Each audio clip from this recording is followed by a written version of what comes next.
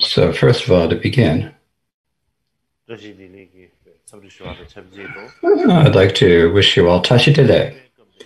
And so today, on the second day, as I mentioned yesterday,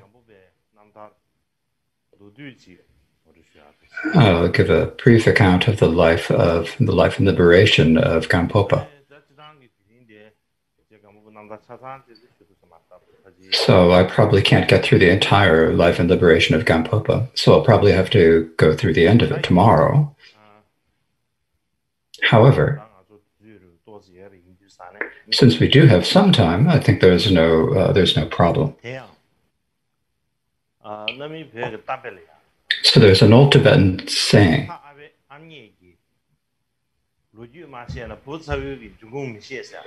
If you don't know the history of your grandparents, you don't know where the children came from, it says. And so, as it says in this saying, if we don't know our, the history of our gurus and of our lineage, whether we're talking about our whether a lineage or someone who's upholding lineage, it's a, uh, there's a danger that we will have no source or authority for ourselves.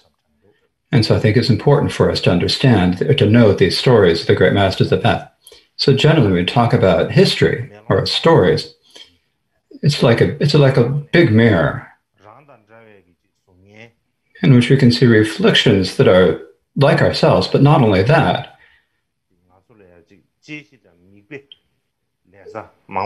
But we can also see things that we need to think about and things that we can take as examples for ourselves.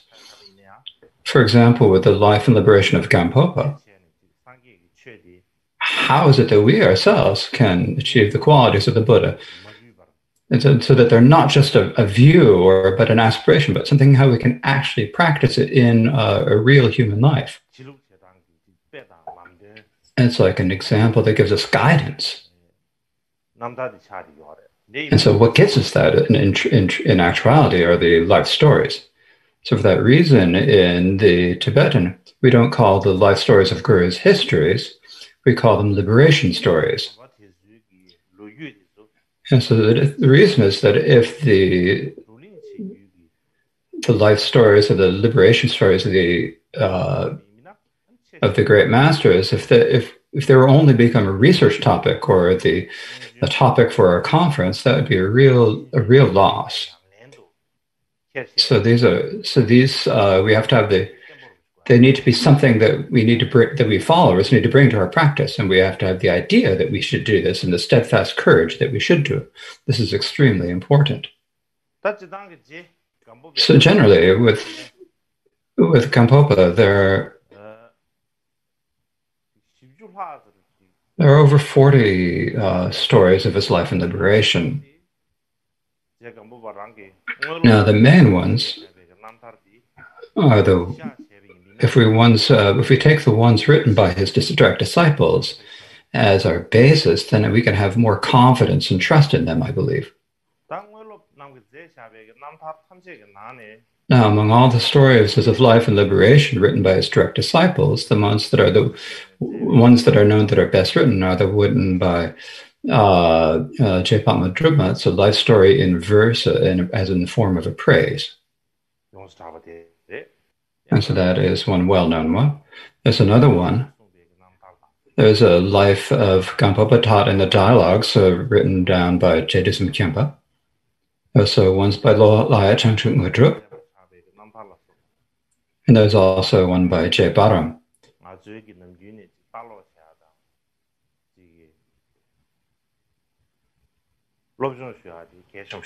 And so it is very important for us to just read these and to study these stories.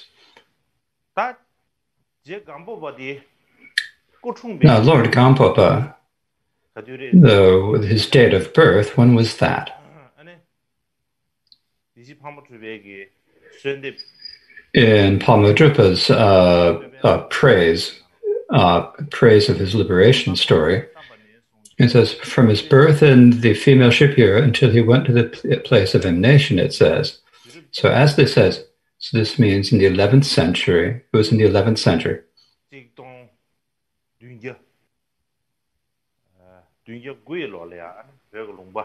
So he was born in uh, 1079 in the region of Nyal. This is in Tibet. And so this is in the uh, district of Hokpa city district of Lunze. So that's where he was born or when he was born. Now, when he was young, he was known by the name of Dharmata. Oh, and in some of them, he was called Dharmakyap, according to some of the stories.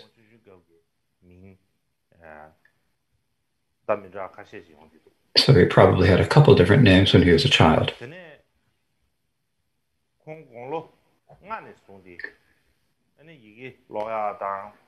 And from the age of five, he began to learn how to read and write.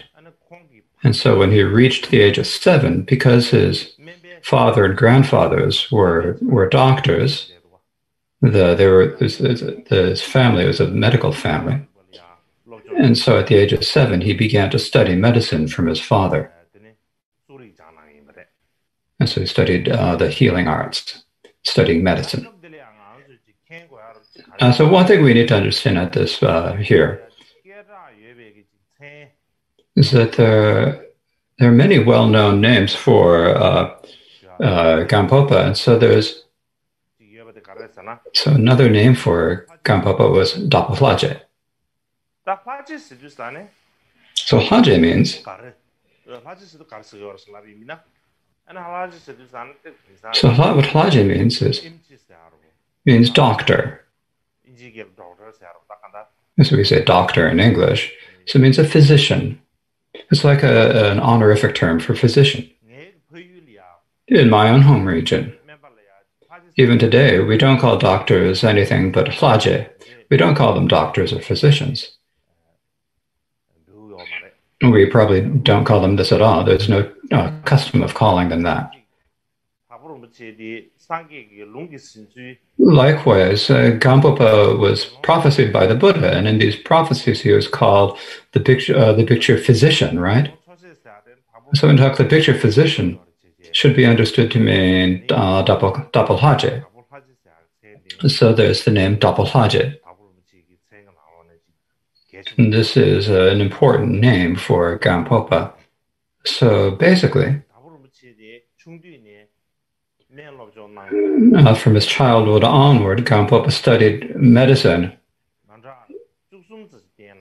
And he had about 13, 13 different teachers. And he came to the to the he reached the uh, the the culmination of his studies and became a, a very skilled physician. Not only that, there are also well known uh, medical students, including Dapo Menakpa, who were his students. And so there's so it is said that that Gampopa himself wrote a medical treatise called A Summary of the Eight Branches. It's, it's said that there is there, but but this uh, text is no longer extant. We we can't get it. It's but there is still a text called the Shorter Text of uh, uh, Dakpo. So the person who compiled this collection was uh, the Dr. Menakpa. And it primarily contains the, the Gampopa's writings about uh, medicine as well as his instructions on medicine, notes on his instructions on med- medicine. And this uh, shorter text of Gampopa uh, seems to have been written before the the four tantras, which is the most well uh, well known text of Tibetan medicine. So it's an important text for the research topic, or something important to study in terms of Tibetan medicine. It's also said that that he uh, there are many important pra- or well known treatments of Tibetan medical practice that are such as the Dakpo instructions on Pomen, the 15 Dakpo medicines, the lung medicine Sangtal 25, and so forth. They were passed down from Gampopa, it is said.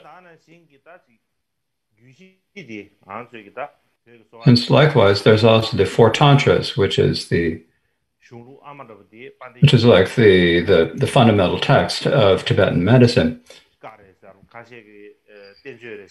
And some people say that it's the words of the Buddha, some say it is a, a, some say it is a terma. There are different ways, but if we talk about it in terms of it being a terma,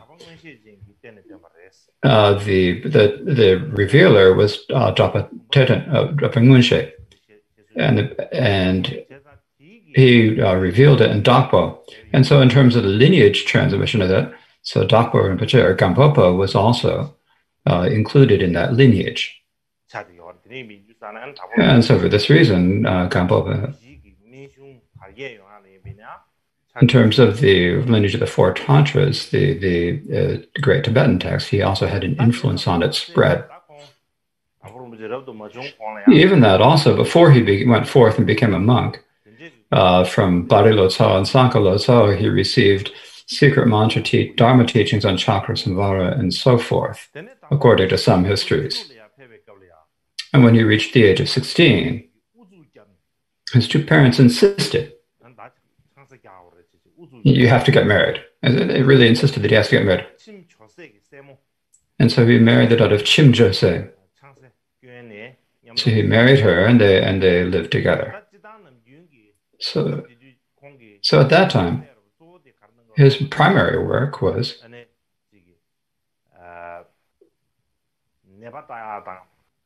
was uh, caring for patients, giving uh, dispensing medicine to patients, basically doing medical work. But sometimes he also did farm work, including uh, plowing fields and such.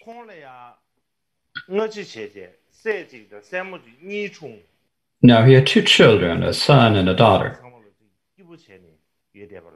And so they all lived as a very happy family life together.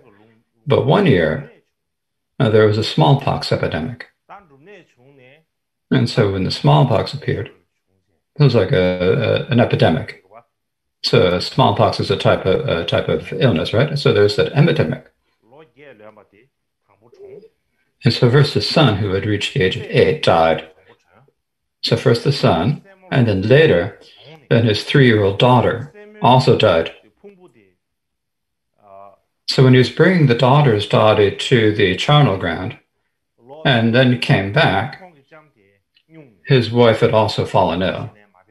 And no matter what medical treatments he gave her, didn't help, and she was on the verge of dying. But but she was still unable to unable to let go, unable to stop breathing unable to die, unable to get better. It was a very difficult situation. So at that point, so Dr. Rinpoche or Gampopa said, said, thought to himself, she's got something that she's she's not letting go of. What could it be? And so he said that way. So what is you attached to? What can't you let go of? And so tell me, he said. And his wife said, What I can't let go of is you. I can't let go of you. I worry that after you die, you're going to live with another woman. That's what I'm worried about. So, so when she said that, Dakpo Rinpoche said, You don't need to worry about that at all. From the very beginning, I've wanted to become a monk. And if you die, then I don't want to do anything other than become a monk. I don't want to do anything other than practice Dharma.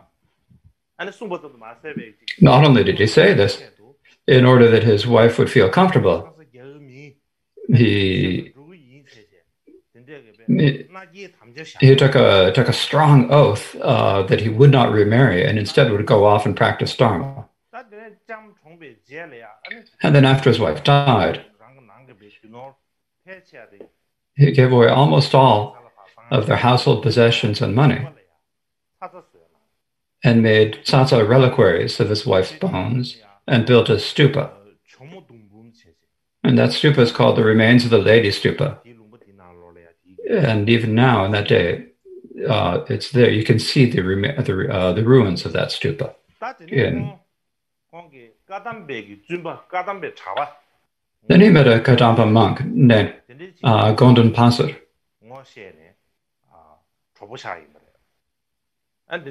So, that so he and Gondon Pasar, they became friends and they went to dapo together. And then in Dakpo, there was a lama named Mario Leru Shirap. He was who acted as the Kempo. There was a Geshe Jeshu Semba who was the Acharya. And so at the age of 26, when he had reached the age of 26, so this was in 1113 in terms of the Western calendar, and he took the complete ordination at once. And what that means is that is that on one day he took the vows of going forth and the novice and the bhikshu all on the same day, on the same time, time on the same day. So that's what we called complete ordination at once. In the Tibetan tradition, when someone becomes a monk or a nun, then at that time,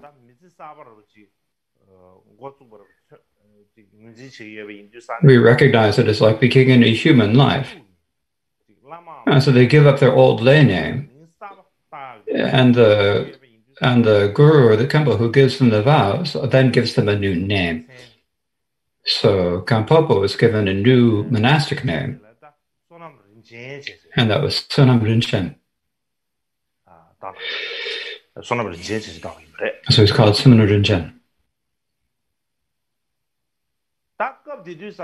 So at that time, his friend Gong right? As I as I mentioned, there was his friend Gong. And Gong said to Gampopa, he had an idea. The, the, the, the Acharya, Chanchu Sempa, who was your Acharya when he took, took the vows, said there's a Guru Milarepa who has really exceptional instructions. So Milarepa is a siddha. So let's see if we can get this. Uh, you got to see if you can get the uh, uh, that siddha's instructions. And so Gampopa said, uh, we don't have any offerings that we can make in order to uh, give the uh, the teaching. So I don't know if he's going to give us any teachings. So Gongten, so Gongten is someone who always had a lot of ideas. I said, no, don't worry about, don't worry about that. Just go and ask. Everybody ask. And when he's giving some instructions to someone else, maybe he'll give them to you too. And so he shared that that that uh, that image. So so then Gompa asked Geshe said, "Please give me instructions on meditation." And when he received, and when he asked him that, then the Geshe gave him the teachings. And he, Gampopa followed the instructions, and and within seven days, he developed good experiences with Shada meditation. So it was after seven days after beginning to meditate. Had good experiences, body and mind were very, very comfortable and very clear. He had, he had these experiences of bliss and clarity. That was, it's like so, so much that he was unable, to, didn't know the day or night. His mind is so clear, his body was so clear, light, so he hardly knew whether it was day or night. And so, so Chanchu Sempa said, I've had these experiences, he said to his master, uh, Chanchu Sempa. So is this, a, have I really developed meditation? And so Chanchu Sempa said, oh yeah, you've, you've uh, developed meditation. So at that time, see, see he, was, oh, he stayed with his friend Gong Chen. So Gong Chen said to him, something, he looked at him and said, uh, something, something different about him. And so he looked a little different. Everybody saw that. Gongchen said, Ah, something's happened to you. Something happened to you. So please tell me what happened. Please tell me what you did. So that's what he said. And when Gongchen said that, then Gampopa said, Oh, I've developed meditation. I've had such meditation with and he and explained how he developed meditation. And Gongchen, his friend, the, an infant, got kind of uh, excited about that. And I said, okay, I'm also going to do meditation.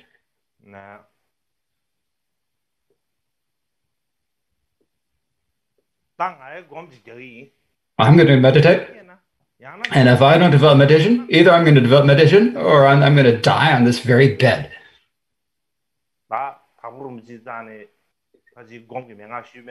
And he probably asked uh, for instructions on the medicine when he did the meditation. He also developed a really strong experiences of resting and meditation. And one of the things he was so excited about this that he wrote on his be- on his bed. Uh, I going to an exhausted samsara here today, and he wrote this on letters. so there's that story about that. The name.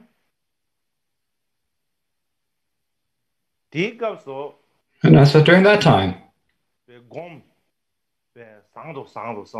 Gampopa's meditation got better and better, it got clearer and clearer. Until he was able to meditate for as long as he wished.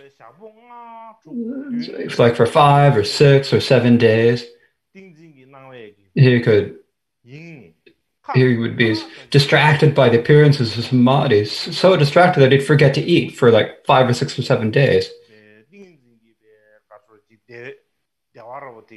It's because of the pleasure of samadhi, the bliss of samadhi has distracted that he forgot to even eat food. And the the uh, afflictions never uh, stopped arising manifestly, and they're like they'd been suppressed. And so his he had no pleasure, for, he had the pleasure of samadhi, but he didn't feel any pleasure from form, sound, or scent, or so forth. So at that time, so one day he was uh, checking to see, how long can I do? How how many days can I meditate? He said. And, was into and so he was able to meditate con- continually, not without stopping for 13 days. So that's uh, something that Gampopa said.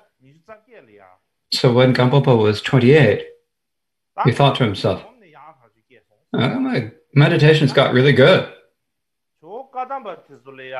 But it said that the Kadampas are, are uh, said that they're well versed in the instructions, where they, they have good instructions on the conduct of a bodhisattva, and I should study that.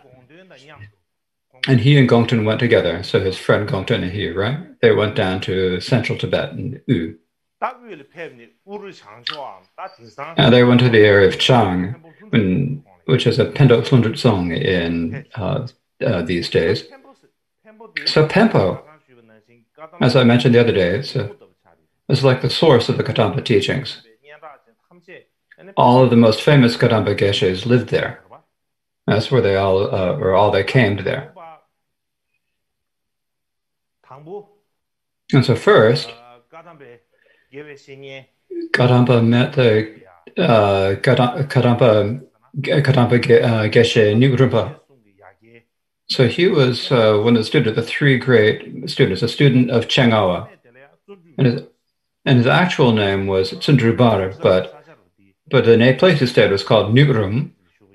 And so he was, and so because he lived at Nyugrum, he was called Nyugrumpa. And so that's what people called him.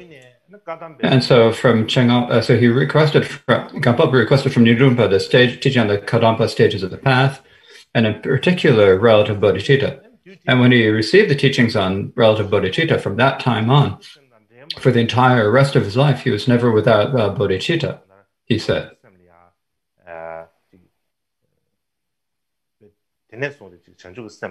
So from that time onward, for the rest of his life, he practiced uh, bodhicitta. And then from that time on, he went to he went to uh, Gyachariwa, a student of uh, Geshe Langtamba. He received from many instructions from Atisha, including Hayagriva and Vajrapani, and secret mantra teachings. In particular, he had the empowerment of Duku. And on the day after, the night after he'd taken that, uh, he saw, he saw, uh, he had a vision of seeing Gompo. And uh, Gyacharya was said, also had, also had very good dreams. And he said to them, after I gave you the empowerment, on that night, I had some really good dreams. And they're like signs and uh, signs and indications that my own misdeeds have been purified. So I think your being and your realization are at a higher level than mine, he said. So at that time, Langtamba He was a student of Potowa. Langshar Nindan. Langshar Lagnathamba. So Langthara and Sharawa were the two main students of Potowa. And among them, Langritamba yongzhaa kita, namjii tsamii nyamshaa naa diyaa ki lojong tsigiyaa maa saa di, was the he was the author of the uh, eight verses on training the mind that we all know and practice. And so Geshe Langren Tampa uh, only practiced uh, bodhicitta, or primarily practiced that. And so when when Gampopa was staying with him, he was uh, around the Langtang, uh, in the area around the Langtang monastery. All the birds and all the other animals, none of them ever uh, harmed one another.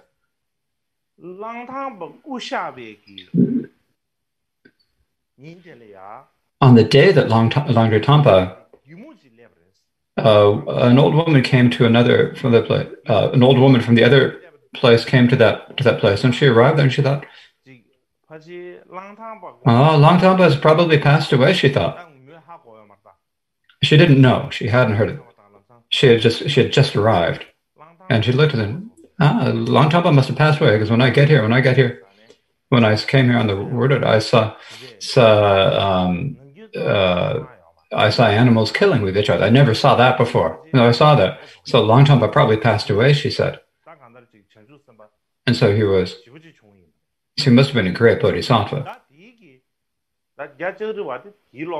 that was one of his students. Now, there were some really good stories about Chakriwa, but, but today I don't need to tell Maybe I'll tell you tomorrow. Gyachariwa was was one of the students of, there's a really good story about uh, Chaudhry when he was a student of Longtang. So maybe I'll tell maybe I'll tell you that tomorrow. So so over the course of several a few years, he sp- uh, Gampopa spent many time in Kadampa monasteries. And so he was living with many different people, and because that was the condition. So his previous meditation actually de- deteriorated.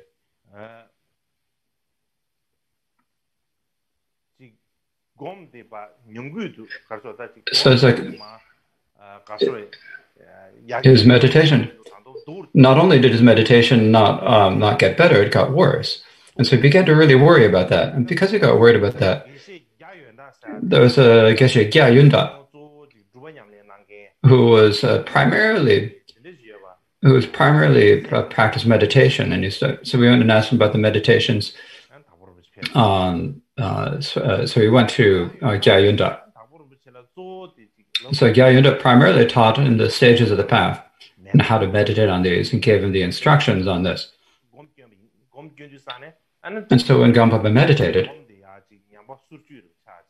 and so it's like he was able to restore his meditation, his uh, meditation improved. Still,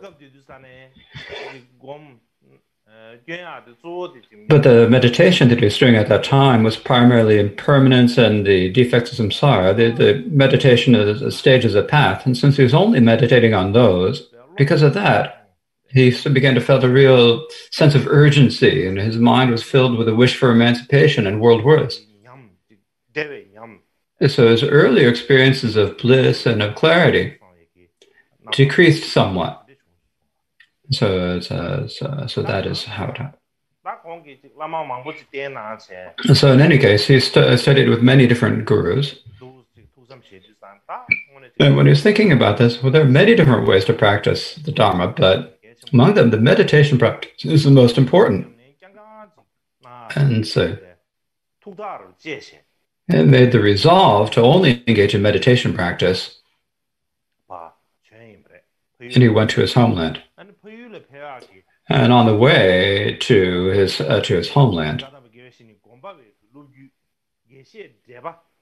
he said uh, he went to the Geshe Jeba, the uh, was uh, and received the instructions on White Tara. So when the when we do the White Tara practice, that from the Atisha practice, this this this the the lineage comes from uh, comes originates from Geshe Jepa. So then he went to his homeland, and when he went to his homeland, there was the ruins of his uh, parents' house. So he built a retreat house, a retreat cabin there, and he and he stayed there during meditation. And so, and so his previous previously he'd had experiences of bliss and clarity that had decreased, that diminished or deteriorated, and so they then kind of uh, were restored, and his meditation got better and better. And so in his dreams, he also saw the signs of achieving the 10th bodhisattva level that are explained in the light of Gold Sutra and the Sutra and the 10 levels and so forth. And we had so many different dreams. Uh, Gampopa thought to himself, I haven't achieved the levels, but so why am I having all these dreams? Are the dreams from just a mental confusion, or are they like emanations of ghosts? Or so you begin to worry about this. So there are so many different signs.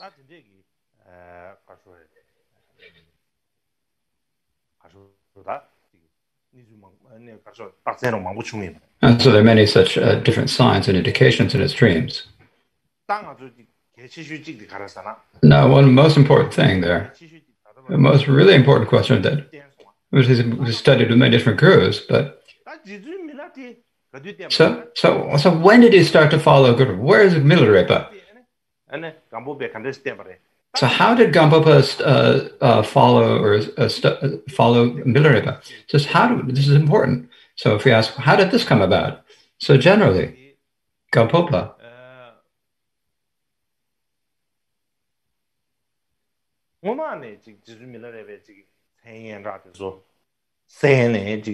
had had heard about the uh, heard the name of Milarepa and his deeds, and so he had faith for him, but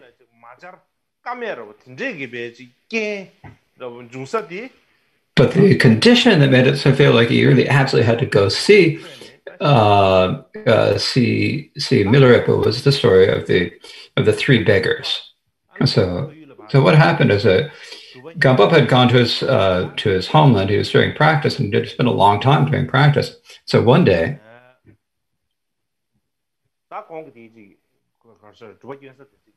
the place that he was practicing was probably had it was probably in Chak in and so there's a place called. Um, so he went off to go for one day. He took, went to take a take a rest, and so he went for a walk.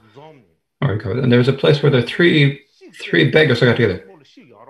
So the the beggars they were killing killing the lice. Like you know, when you never wash, of course you get a lot of lice. So, so they're killing the lice, and they're uh, complaining, and they're always talking and commiserating with each other. And he saw these beggars. Then among them there was one of them. The first beggar said, "What he said was." Oh, we have no merit at all. Just if, if we had merit,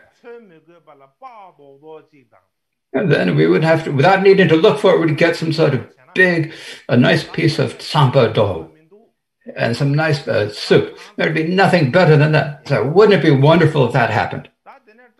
And then the second beggar said, Ah, no point to any of that. Just that's just like making aspiration. What point of that? What's better than that?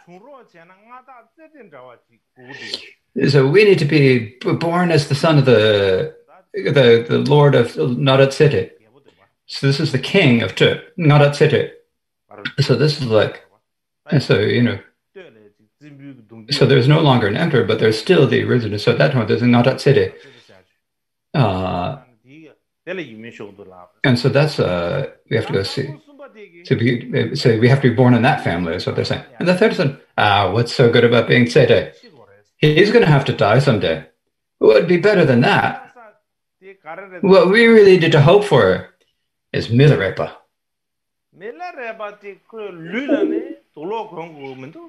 Milarepa doesn't even need to wear any clothes.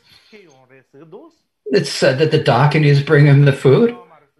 He has no fear of birth or death. If something had just happened to me, then if I became like that, then that would be great, wouldn't it? That would be wonderful. So the speaker said that. And Gampopa listened to listen to the conversation that they were having. And when they started speaking about Milarepa, and he heard that, he immediately he got goosebumps, and it's like he started to cry, shedding tears. That Milarepa, I have to go. If I don't go see Milarepa in this lifetime, just wouldn't be right. I just so this really strong feeling or strong longing that he had to do this. And so as he did this, and so he went to the to the beggars and said, "There's uh, the siddha there." like, "Where is he? How?" How can I go and see this uh, this siddha? When he asked him this, one beggar said, Milarepa is probably is probably in the mountains in uh, And so, uh, so he gave that to Gampopa said, No, sir, if that's the case, so please take me there. Is it okay if you take me there? And the beggar said, huh? Uh, you're young. You're so young. We wouldn't be able to keep up with you. So you go alone. So you go alone. And when you get to Latu, when you get to Latu, you'll hear where he's been because because he's so well known. So just ask someone, and then you'll learn where he is. And so that's what happened. And so when that Gampopa was like really, really happy, really delighted. And he gave the three the, the three beggars like really as much food as they could eat. He gave them as many presents as he could. And said and so the next day thought, ah, I need to speak to them again to the next day. But the next day it's like they had disappeared. Who knows where they'd gone? No one knew where they'd gone, and so Gampopa said, Oh, those three beggars are probably uh, emanations. They're either messengers or messengers or um, emanations. They're not just ordinary people.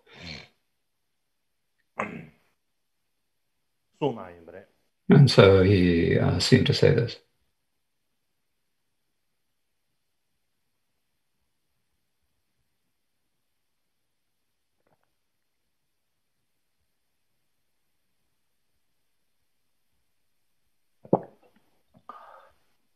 oda dhiri yin dhuzane, tsa dhegi, ta kanda, je kambu pa, milire pa, So this is the primary condition for him uh, to meet Milarepa this uh, this conversation with the three beggars. So from tomorrow, I'll speak about how he met Milarepa